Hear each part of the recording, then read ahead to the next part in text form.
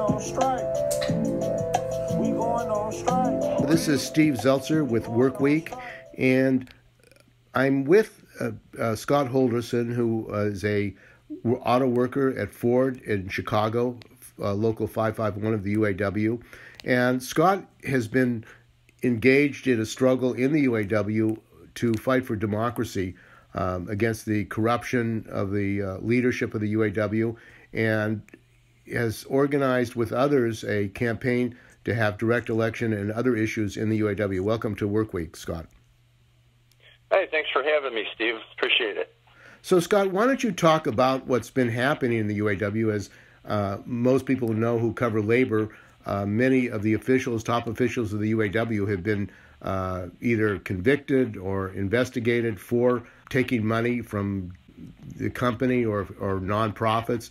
Uh, what is happening in the UAW at this point with this whole corruption crisis? Well, there's there's been several different schemes of uh, uh, corruption. Some have involved our dues money. Some have involved taking money from the corporations uh, that that they negotiate with. Uh, that's where it started in, in Fiat Chrysler. There was one of the vice presidents of our union, Norwood Jewell, just started his prison sentence for taking bribes from Fiat Chrysler officials. So far, there's been uh, like 10 different uh, UA, uh, UAW officials and officers that have pled guilty. And what were they doing in return for the bribes from the company? They were smoothing the uh, the skids for better contracting, uh, better contract terms. So they were basically making pushing concessions on the workers uh, while they were getting uh, bribes and other benefits from the company. Yeah, that's that's what he pled guilty to.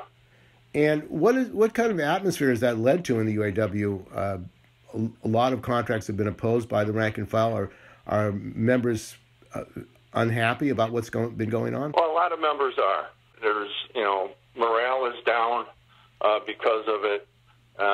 But also, uh, you know, there's there's been a, a number of members that have uh, decided to stand up and fight back. And the structure of the UAW, you've been involved. You've gone to uh, past conventions. How is the structure inhibiting the membership from having real control over the union? Well, the uh, the structure is such that our international executive board is elected by the delegates to the to the constitutional convention. Uh, those delegates are elected by their, their members, but there's very little that the members can do to learn how their, their delegates voted on anything from uh, you know the dues structure to uh, who they voted for for uh, you know international offices. And this labor management partnership, which has been the position of the UAW for decades. In the post-war period. Does this have something to do with the corruption going on in the UAW? Well, I certainly believe so. Uh, you know, in the early 1980s, the UAW had a paradigm sh- shift uh, from confrontation with the, the companies to cooperation. Uh, they felt that if the companies were stronger, that it would be beneficial to the workers as well. And that that paradigm shift uh, has ultimately led to the, the union being co opted by the companies in many respects. And uh, the method of which we elect our leaders has led to, in, many respects, to them feeling like they don't have have to be accountable to the membership. Well, I was at a, a meeting in uh, UC Berkeley, actually, where Bob King spoke, and it was interesting that he said that uh, he was uh, concerned about protecting the profit of the auto companies. Do you think that should be a concern of the union? The, the union's concern should be that the uh, workers are getting their fair share of the profit. It's it's not our concern that the companies make the profits because the companies have too much control over day-to-day operations of those. You know, we, we, we can't control, you know, investment choices, uh, we can't control which, which plants they decide to build or close. We haven't been able to control it anyway. You know, so this partnership is a one-way partnership, and uh, I'm surprised that it has gotten to this this point without the membership rising up. But now we're beginning to see that that the members are taking notice and starting to rise up and and uh, hopefully take back our union. And how is this organization taking place, mean, and what are the uh, demands that you're making on the union for change? Well, it started with a small group of activists who were upset with the the things that were being exposed in the in the press uh, you know, the government came in and, and was able to find out things that the membership couldn't find out. As those things were exposed, uh, we started looking at our Constitution and seeing what remedies we had uh, as members that we could that we could utilize. We found uh, a few different clauses uh, where we could take action, and, and we started to organize action around those clauses. So one of those was to file charges against an international officer. In order to do that, you needed to have somebody sign a, a sworn affidavit about the charges they were filing, and then you had to have the endorsement of that person's local plus the endorsement of 10 other locals. Now, the International Executive Board could step in at any time with a two thirds vote and do the same thing. Well, we had uh, organized to eventually get six locals on board. And when that came out in the news, the very next day, the International uh, Executive Board filed their charges against uh, President Gary Jones and uh, Regional Director Vance Pearson. And they both ended up resigning their their membership after that happened. And what were the charges against Gary Jones? It was uh, essentially misuse of uh, union union money, union dues, and uh, the the schemes. There's a couple of schemes that he was involved with, but they were essentially having a three-day conference in Palm Springs, California. But that three-day conference would turn into uh, several months of them staying in Palm Springs with uh, being paid for completely, uh, including meals, including cigars, including golf. Uh, all of it was paid for uh, with union union funds, and they tried to hide it by uh, charging it all to the conference, the three-day conference. And was this an isolated situation, or how many uh, officials have been involved in this? It seems like it's uh, growing by the day? Well, there's there's been several different schemes. We this is the second one that we've talked about here. Uh, the first one, of course, was the bribery uh, at Fiat Chrysler. Uh, there were also uh, schemes for demanding kickbacks from vendors who were supplying uh, trinkets to, you know, whether it be T-shirts or jackets or backpacks or pens watches. Uh, you know, they were inflating the prices, having the vendor inflate the prices and then pay them kickbacks. Uh, that's what uh, former Vice President Joe Ashton uh, is caught up in right now.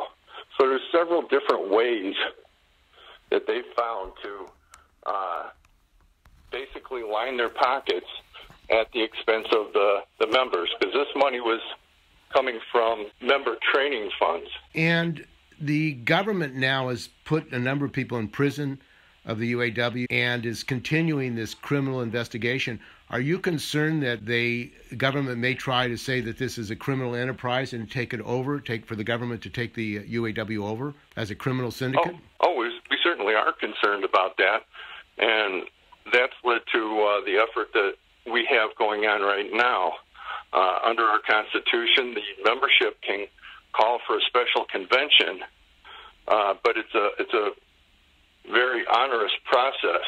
Uh, it requires that first of all you get a resolution passed that includes a specific date and location for the convention and the purpose for the convention.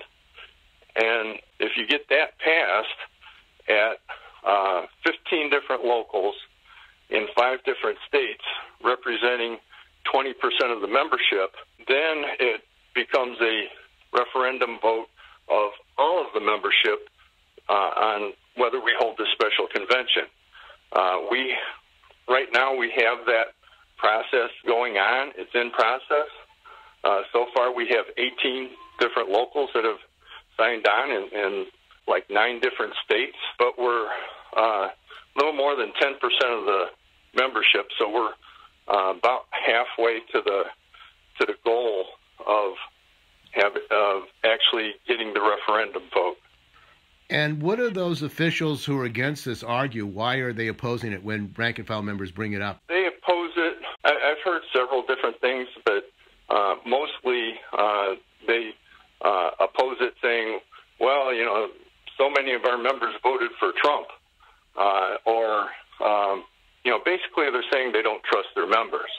Uh, also, they say, "How do you cam- campaign to all these different people in, in all across the country to run for international office?"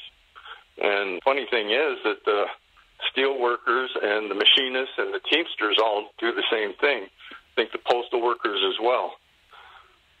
And you're talking about a direct election of uh, the officers of the union. Yes, a direct election of the officers of the at the international level of the union.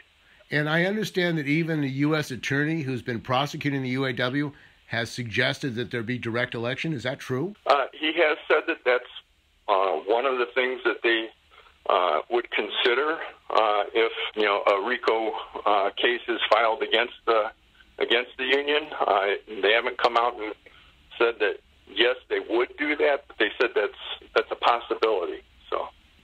And what are the reasons you're opposed to a government takeover? I know uh, there are workers who support Trump, but what do you think the effect of a government takeover would mean for the UAW? Well, that's that's the unknown, right? Uh, we've seen the National uh, Labor Relations Board uh, that Trump has put into place uh, overturning uh, lots of uh, precedent in labor law, and they continue to uh, attack uh, our ability to uh, to organize and to uh, form new uh, or you know have more union membership. It also attacks our ability to represent members. So we're, we're concerned about it. We do, it's in part the unknown. You know, we know that Trump is a businessman and that he has not been in the uh, in his business dealings. He's not been exactly uh, a friend of workers. Uh, he's been actually rather anti-union, and uh, same thing with the uh, uh, U.S. Attorney in the Eastern District of uh, Michigan.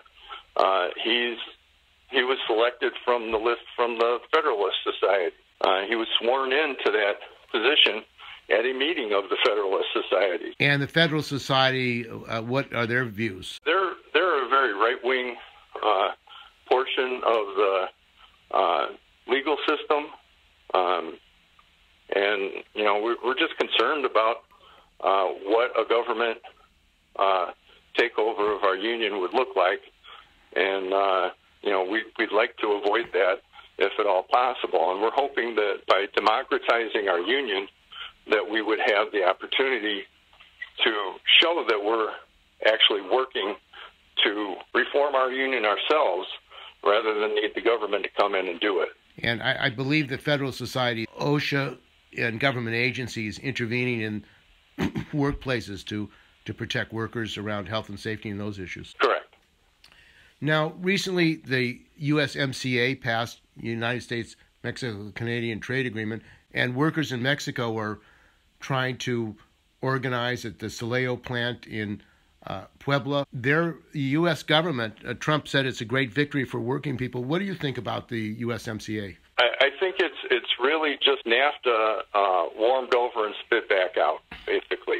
There were some marginal improvements on requirements of certain wage parity uh, with workers in Mexico. And the problem is most of the language dealing with workers or environmentalism, you know, protecting our environment, that language has no teeth to it, and it's hard to enforce.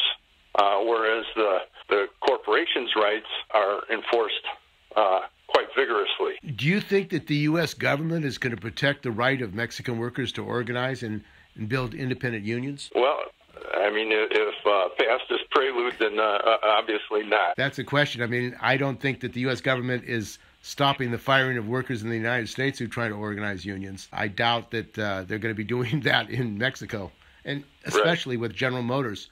What kind of relationship should there be between U.S. auto workers and auto workers in Mexico and other countries? Uh, we should be building bridges to uh, of solidarity with uh, auto workers and workers uh, in other countries, uh, especially in Mexico and Canada. They're our closest uh, neighbors, and we have more in common than, than we have in, as differences. our main differences with Mexican workers is language and also a, an imaginary border between our countries. And some General Motors workers, when there was a General Motors strike, uh, had some solidarity action. They didn't want to work overtime uh, to help GM, and also they were against outsourcing. Seven of them were fired.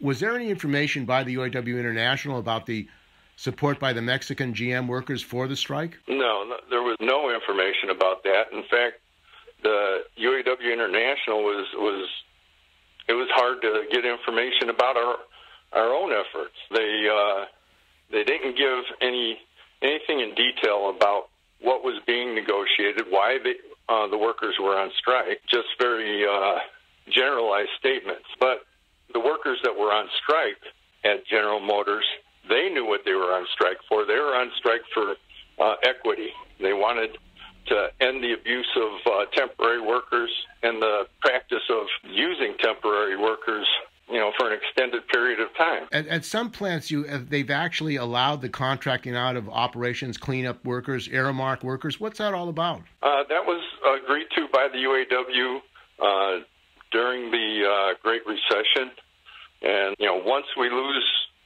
lose that work, it's very difficult to get it back in plant. Those those jobs often went to high seniority workers uh, as they were nearing the end of their, their career. Now they're being farmed out to companies who hire people at a much lower wage scale. And the auto industry is a global industry. There are now probably maybe more cars produced in China of GM than in the United States. How do you see organizing internationally with these companies and possibly fighting globally uh, of joint actions of uh, all GM workers or all Ford workers, a global level? Well, that's going to be a necessity, Steve.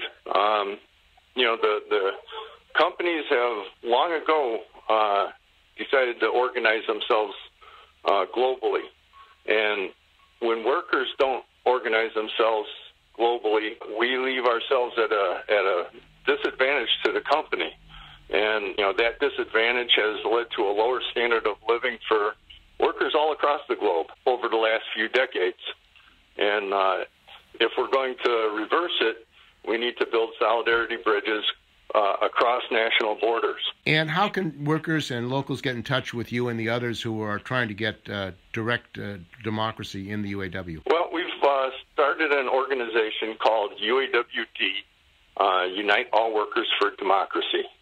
And you can find our website at uawd.org. And also, we have a Facebook page uh, called Unite All Workers for Democracy. Okay, well, I want to thank uh, you, Scott, for participating in this interview. I'm talking with Scott Houldierson. He's an auto worker at uh, Ford in Chicago, local UAW Local 551. Very good. Take care. Bye bye.